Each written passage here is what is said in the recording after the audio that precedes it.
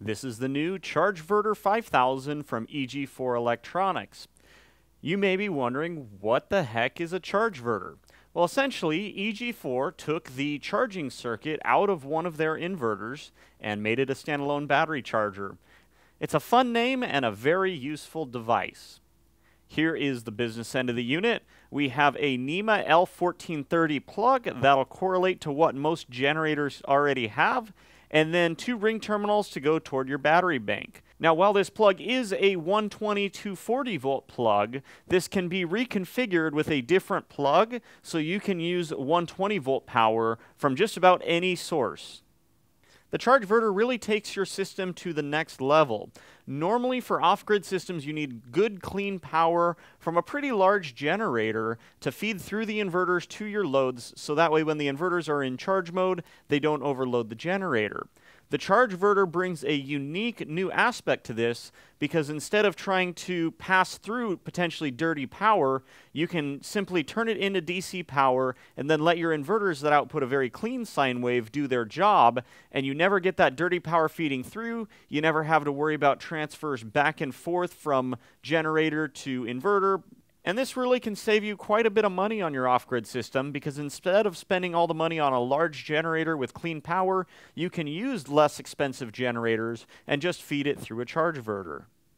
Now here in the lab I only have a NEMA 650 receptacle available, so I'm going to go ahead and change this cord end for the 6-50 um, plug so that I can plug it in. Now again, ideally this is meant for running on generator power and this is not going to be a demonstration of its full capabilities because I have nice clean grid power, but this literally can take in just about any power you throw at it. 120 volt, 240 volt, 208 volts, you name it, it can take it in.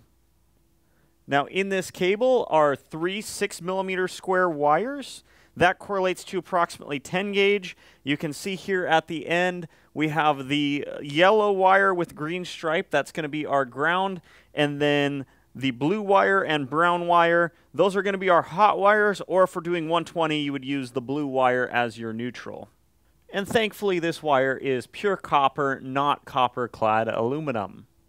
Now that our plug's wired up, we're ready to get this thing powered on. Now before I get this connected to a battery, I want to demonstrate one of the best features about this ChargeVerter, and that is it can reactivate a fully depleted lithium battery. So for example, if your BMS is shut off. So if I plug in power here and flip on the breaker, the ChargeVerter will boot up. We do get some fan noise. The fans are actually a little loud, but you can see we have 48 volts output, which is the default setting of the ChargeVerter. No, the fans are going to ramp down because this is under very little load, but if you had a battery and needed to get it activated, this could definitely do the trick. There is a 125 amp DC circuit breaker that is in line with the output cables. This is nice because it means you don't necessarily need to add a fuse before it goes to your bus bars or battery bank. It's already built in that saves you the cost of having to add another fuse.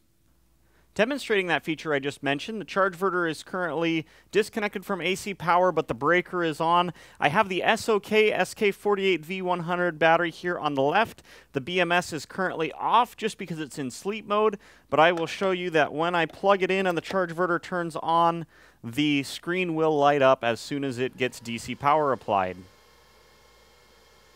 So now let's take a look at the screen. If you notice any strobing on this screen, that's not doing that in person. It's only an artifact of the camera. It's very easy to take a look at the uh, current output voltage as well as how many amps are coming out, as well as how many kilowatt hours have been output during this charging session. If we press enter, we get to the settings page with two settings. There's going to be voltage and current. Now I want to increase the voltage to the maximum of 57 volts. However, I don't currently want to go all the way up to 100 amps. So you simply press down and enter and you can adjust this however you want. I'm just going to set it at 5 amps for now and then I will turn the voltage up. And we can see the voltage start slow, but then it speeds up so that you don't have to sit here for a super long time holding the button and we're going to set it at 57 volts and then we can escape out of the settings menu and we can see the voltage is going to go up to the battery voltage right now the current it's just shy of the 5 amp limit we set and the voltage is not going any higher because the battery is consuming all 5 amps that the ChargeVerter is putting out. If this battery were getting close to full, you would see it hit the voltage limit and stop charging.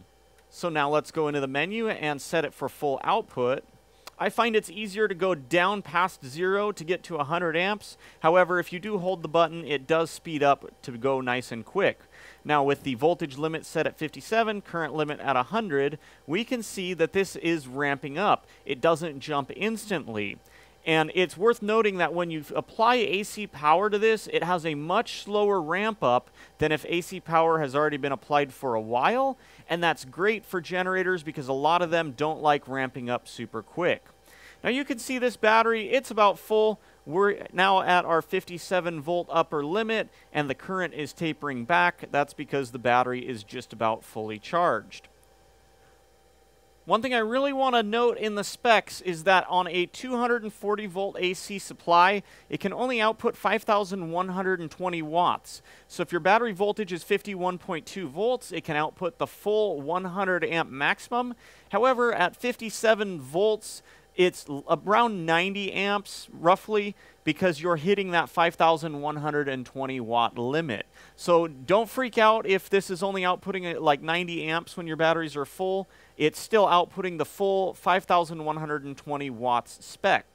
Likewise, at 208 volts, it can still output the 5,120 watts, which is awesome. It's only when you go down to 120 volts that you only get 3,050 watts. Now time for everybody's favorite part, the teardown. Now I took out four screws on this side and one screw at the end, as well as four more screws on the other side, so a total of nine screws. And now this top cover lifts off very easily. Now there is a ribbon cable in here for the screen that unplugs pretty easily.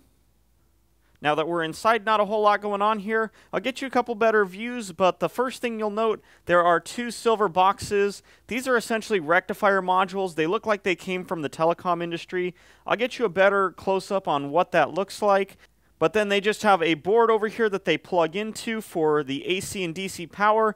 That feeds the breaker and goes to the output. Not super complicated. This is what I mean when I say they look like they're off-the-shelf components. These are the rectifiers you typically see in a telecom cabinet. They're usually on their side in a 1U tall power unit. So it's not like there's a super proprietary component. These are off-the-shelf components that I'm sure get made by the thousands. And they're just packing two of them in here to get our output output wattage that we're looking for.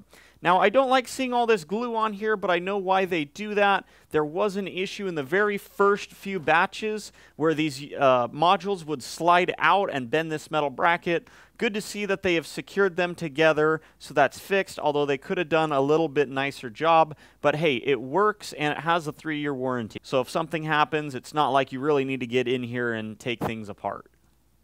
So after cutting through all the glue, you can see these modules just slide in here, and these are a standard telecom module that I've seen multiple times before.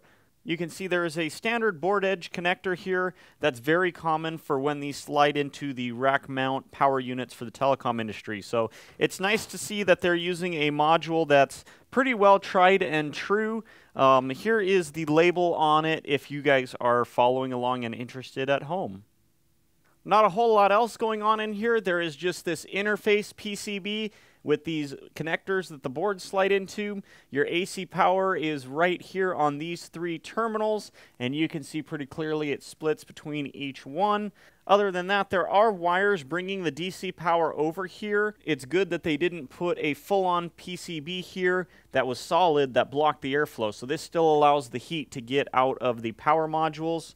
Other than that, this board just has two connectors down in here, and that's where one of the wires comes off and goes to the breaker, and the other wire goes straight out the back. As far as controls go, not a whole lot here. It's all going to be through the uh, board edge connectors. That's how it'll get the data over to the modules to set their output voltage and current, and I'm sure all the magic happens inside of the modules.